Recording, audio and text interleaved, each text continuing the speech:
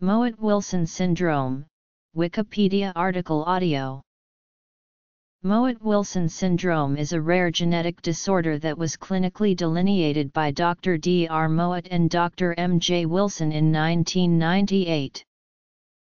Presentation Causes Diagnosis Treatment Prognosis this autosomal dominant disorder is characterized by a number of health defects including Hirschsprung's disease, intellectual disability, epilepsy, delayed growth and motor development, congenital heart disease, genitourinary anomalies, and absence of the corpus callosum.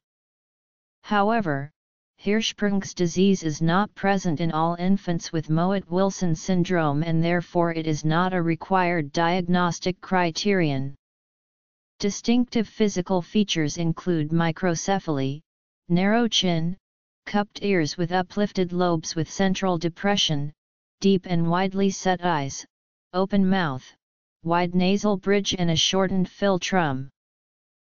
The disorder is expressed in an autosomal dominant fashion and may result from a de novo loss of function mutation or total deletion of the ZEB2 gene located on chromosome 2q22.